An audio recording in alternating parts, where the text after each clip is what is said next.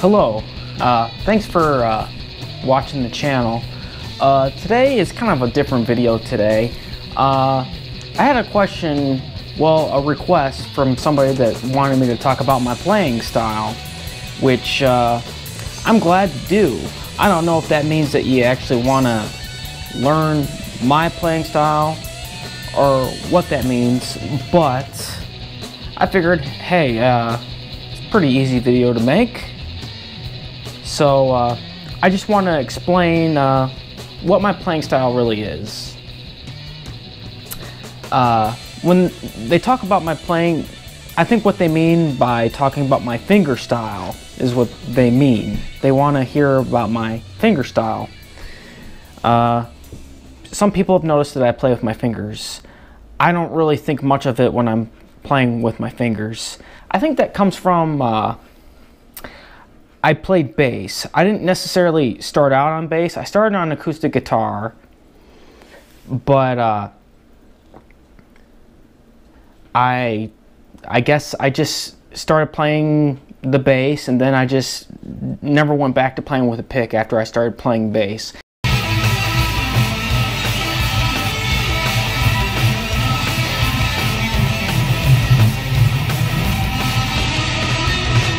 That was probably about a year into playing guitar.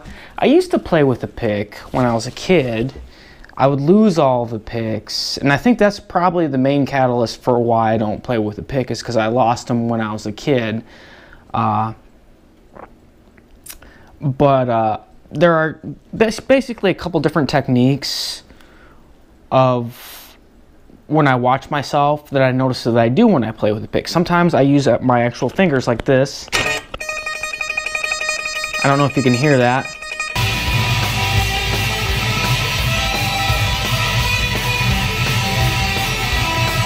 See how I'm using like my uh, my middle finger? I'm just using the finger and sometimes I switch to my index finger. Now when I switch to my index finger, I notice that instead of using my actual finger, like on my middle finger, I actually start moving my wrist which is more conventional.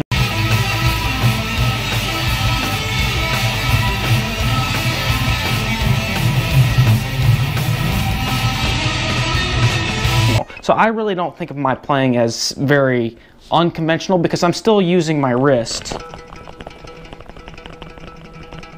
Which I think there was a, a, period when I really wanted to improve, like a few years ago, when I I just couldn't really get my playing up to where I was until I started kind of using my wrist on some stuff. And I try, and mostly when I practice, I'm using my wrist like this, which is pretty conventional.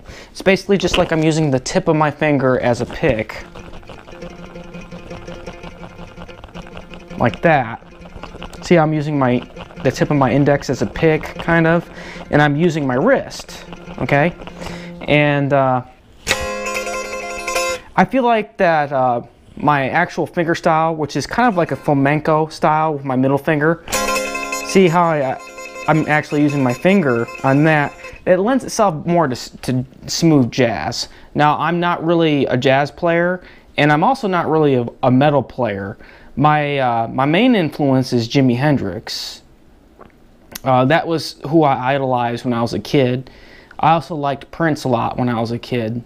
And I still do. I mean, it's not just from when I was a kid, but you know how it is when you're a kid. You idolize people. And they both play with picks, but I never even had a second thought about playing, not playing with a pick.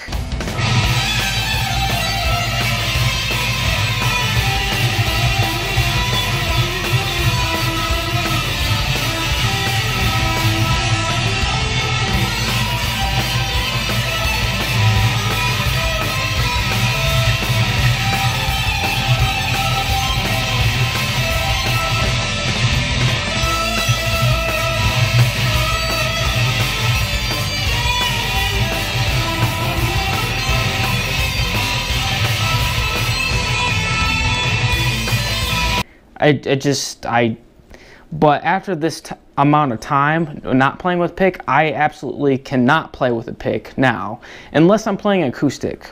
Now, if I'm playing acoustic, I like to play with a pick sometimes because you can really you can really get a good volume out of an acoustic guitar. But with an electric guitar, it doesn't really matter as much if you play with your fingers.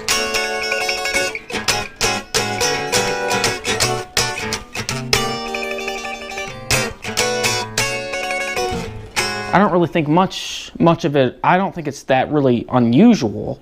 Uh, I I don't know if I'd even recommend not playing with a pick, but it's just what has come natural to me. There are a lot of guitar players that are, are really good, and sometimes I think maybe I should start using a pick if I really really want to get good. But then I try, and then I sound really awful when I play with the pick.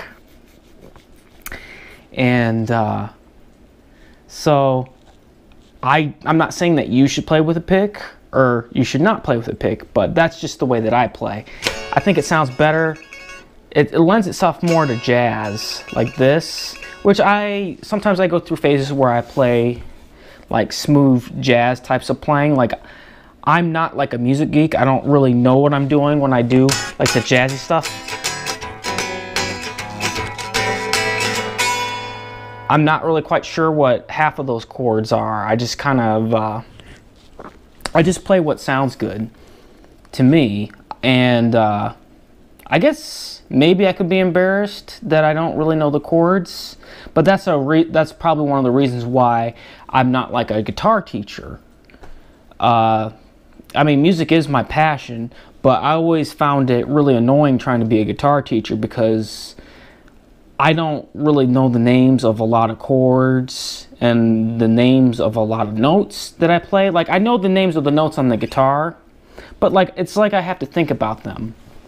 Uh, but the funny thing is, is uh, that when it comes to playing bass, uh, I played bass in the high school jazz band, and I learned how to read uh, the bass clef and how to do walking bass lines. They were written out back then uh, when I was in high school, they would write out the walking bass lines. Now I know in the real world in jazz, you don't really use that, but to say call it the high school jazz band, it was more of a big band like Glenn Miller type of stuff that they would play. And I I have dabbled in the uh, the upright bass, and I used to practice the upright bass uh, fairly regularly when I had a, a nice upright bass, but uh, I it was a it's a, it's a whole nother story. It was a bass that I bought from a guitar show and I repaired, and it sounded really good. And then the repair failed, and uh, I got used to playing that nice one, and all I had left before that was a uh, was a Kay bass that I'd been playing before, but I just can't play that Kay bass after playing that nice one where the the neck repair failed. But uh, I can read uh, I can read like quarter notes and easy notes for like uh, jazz bass, and sometimes I like to get funky with the bass. And uh, sometimes when I get funky with the bass, my my hands start to hurt, and because it's it takes a lot of pressure with your left hand if you really get funky with it, or if you you're playing your ass off. Like I can play my ass off with the guitar from my left hand. It doesn't always sound good with my uh, my guitar playing doesn't always sound good. I feel like I, I do make a lot of mistakes, and it's just something that I'm constantly working on. Uh, I, you know, it, it's I, I I feel like that a guitar.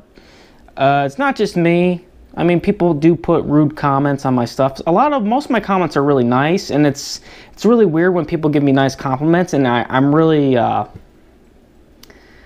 uh, it makes me it makes me feel weird when people give me nice compliments. It does, but it makes it does also make me feel bad when people leave mean comments. Like I got a couple mean comments. Like some some guy left a comment in Spanish that was like, uh, it's like I don't know if the guitar's bad or if your playing's just really bad. And that was on a video I did like a year or two ago, and I will admit that my playing in that video was pretty bad, and I I I admit that, it, I mean, I, I hear my mistakes and uh, I'm trying to improve.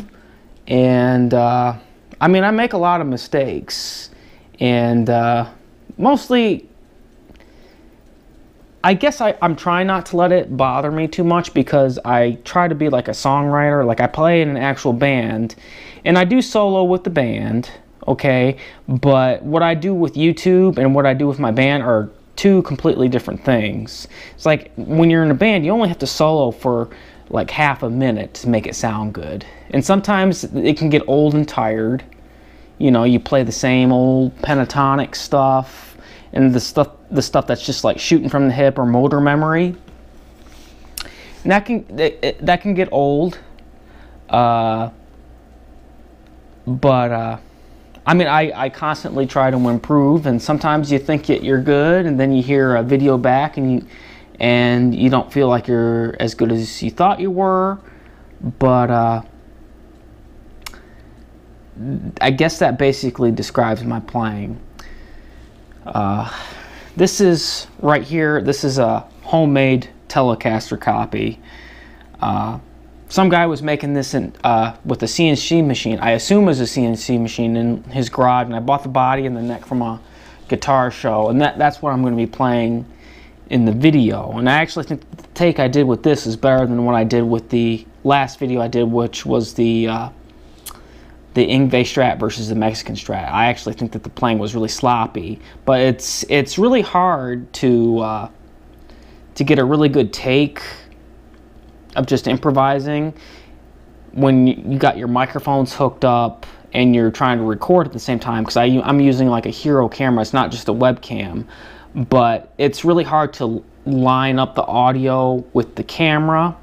And so I just play for a long time and just let people hear what it is and not try to pick out the best parts.